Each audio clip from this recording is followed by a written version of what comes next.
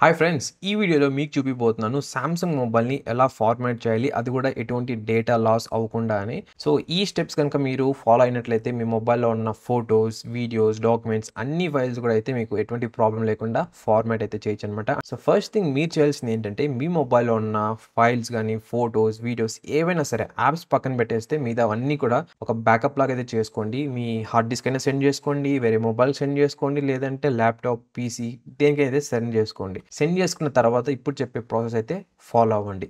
First మీ మొబైల్లో settings అయితే open చేయండి. సెట్టింగ్స్ ఓపెన్ చేశాక స్క్రోల్ చేసుకుంటూ వెళ్తే మీకు అక్కడ అకౌంట్స్ అండ్ బ్యాకప్ ఉంటుంది. దాంట్లోకి అయితే వెళ్ళండి. సో దీంట్లో ఏంటంటే మీరు మీ యొక్క సామ్సంగ్ క్లౌడ్ని బ్యాకప్ చేసుకోవచ్చు. అలాగే ఏమైనా ఫైల్స్ ఫొటోస్ ఇంకేమైనా ఉంటే గూగుల్ డ్రైవ్లో ఎక్కడైతే అయితే బ్యాకప్ చేసుకోవచ్చు. మనకి సామ్సంగ్ మొబైల్ కాబట్టి సామ్సంగ్ క్లౌడ్ అయితే ప్రొవైడ్ చేశారు. ఒకవేళ వేరే మొబైల్ కనుక యూస్ చేస్తున్నారంటే మోస్ట్లీ మీరు ఏది ఆప్షన్ చూడరు అనమాట బట్ గూగుల్ డ్రైవ్ ఆప్షన్ మాత్రం ఉంటుంది. సో దీని తర్వాత మీరు చేయాల్సింది ఏంటంటే మళ్ళీ సెట్టింగ్స్లోనే బ్యాక్ వచ్చినట్లయితే లేదా సెట్టింగ్స్లోకి వెళ్ళి మళ్ళీ స్క్రోల్ చేసుకుంటూ వెళ్ళినట్లయితే మీకు ఒక ఆప్షన్ అయితే కనిపిస్తుంది జనరల్ మేనేజ్మెంట్ అని. దాన్ని అయితే సెలెక్ట్ చేసుకోండి. సెలెక్ట్ చేసుకున్న తర్వాత కిందికి స్క్రోల్ చేసుకుంటూ వెళ్తే లాస్ట్లో మీకు రీసెట్ అని ఒక ఆప్షన్ అయితే ఉంటుంది. దాన్ని సెలెక్ట్ చేయండి.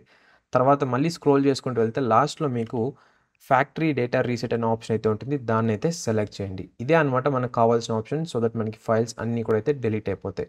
సో ఈ ఆప్షన్ సెలెక్ట్ చేసుకున్న తర్వాత మీకు ఈ విధంగా అయితే ఆప్షన్ అయితే కనిపిస్తుంది. మీరు డెలీట్ ఆల్ మీద అయితే క్లిక్ చేయండి. అంతే.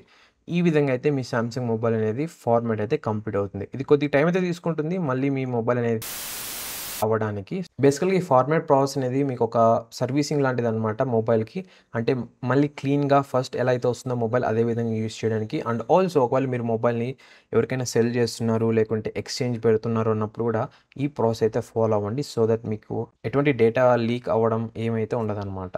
ఒకవేళ మీరు సామ్సంగ్ మొబైల్ని కొత్త కొన్నారు అండ్ ఎటువంటి యాడ్స్ లేకుండా సెటప్ చేయాలంటే ఈ వీడియోని అయితే క్లిక్ చేయండి. మీకు డీటెయిల్గా అయితే ఎక్స్ప్లెయిన్ చేశాను.